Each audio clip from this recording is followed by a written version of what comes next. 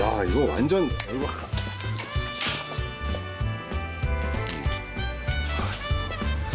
아이고 진짜 거의 장사 원 플러스 원이잖아 원 플러스 원. 하나 그렇지 그렇지 아이. 섞어? 머리 깨져. 자자자자자 다 왔다 또 갑시다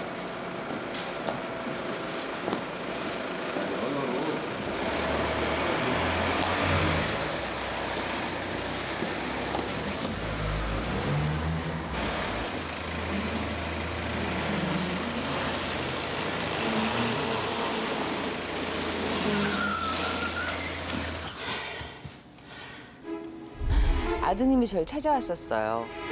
한우 선물 세트랑 꽃바구니를 들고 정식으로 사과드린다고요. 내가 이 녀석을 그냥 가만두나 봐.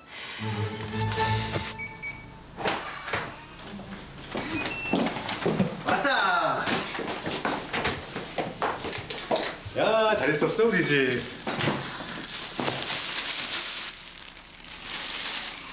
오늘 저녁은 호두가 해볼까요?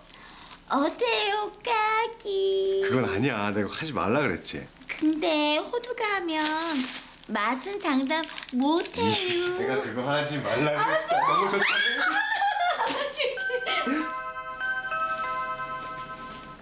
누구야? 누구지? 누구세요? 엄마야, 빨리 문 열어. 야, 일단 안방. 다용도실.